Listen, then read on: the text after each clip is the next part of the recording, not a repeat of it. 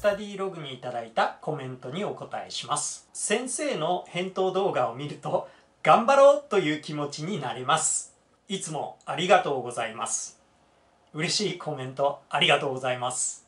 頑張ろうっていう気持ちになっていただけたら嬉しいです。長文読解のコツが未だにつかめないです。時間を考えてしまって落ち着いて読めないです。長文読解はなかなか難しいです。短期間ではなかなか伸びないんで長いスパンでやる必要があるんですけどとりあえず7月末の IP テストは優しい問題を確実に取る。難しい問題はできなくてもいいぐらいな構えで臨んでください。TOEIC の読解問題優しい問題はすごく優しいです。で難しい問題はすごく難しい。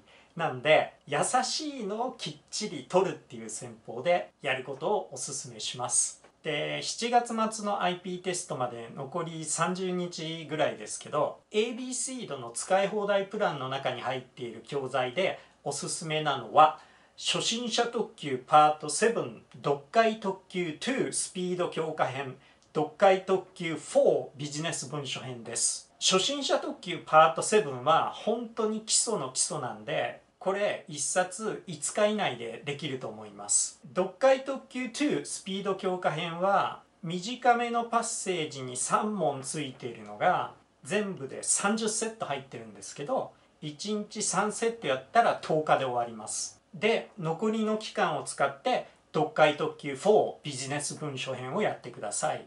難しい問題は入ってないんで読解問題苦手っていう人にとっていい練習になると思います。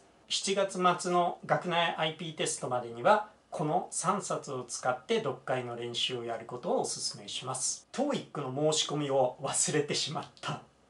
残念ですね。